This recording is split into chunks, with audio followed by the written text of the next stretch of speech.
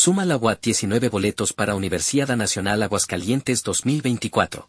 Luego de dos bloques de competencia en la región 1 del Consejo Nacional del Deporte de la Educación, la Delegación Atlética de la Universidad Autónoma de Tamaulipas ha logrado 18 pases de deportes individuales y uno de conjunto para asistir a la Universidad Nacional Aguascalientes 2024. Los primeros en avanzar fueron los esgrimistas, quienes no tuvieron eliminatoria regional debido a que se registraron menos de 100 competidores en las ocho regiones en que el Consejo Nacional divide el país. En cuanto al regional, a las elecciones de la UAT solo le restan dos participaciones en Nuevo León. Del 29 de abril al 1 de mayo está programado el Fútbol Asociación Varonil y el 1 y 2 de mayo se desarrollará la competencia de tiro con arco. Entérate esto y más en manuelgimars.com.